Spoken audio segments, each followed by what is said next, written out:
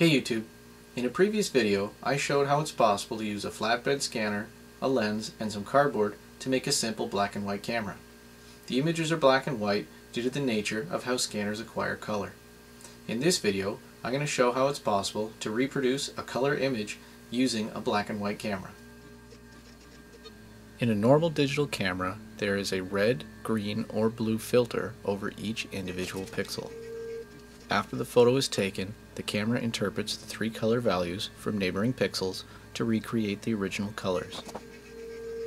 In my scanner camera, I'm taking three separate photos, each one through a red, green, or blue filter.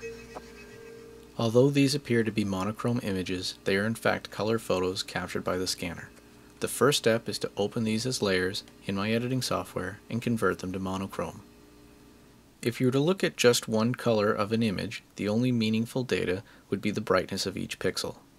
I use the software to assign each of the three images to the brightnesses of each of the three color channels, red, green, and blue. This allows the software to reproduce the original colors of the scene.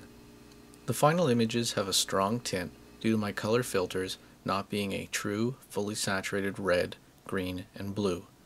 However, this can be compensated for using white balance adjustment.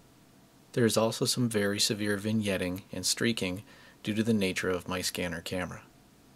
If you'd like to try this on your own, you don't need to build a scanner camera. You can set your regular digital camera to monochrome mode and take three images using three colored pieces of plastic, then assigning each of the three photos to a color channel in your favorite editing software. I hope you found this video interesting, and if you'd like to see more like this, check out my channel. Thanks for watching.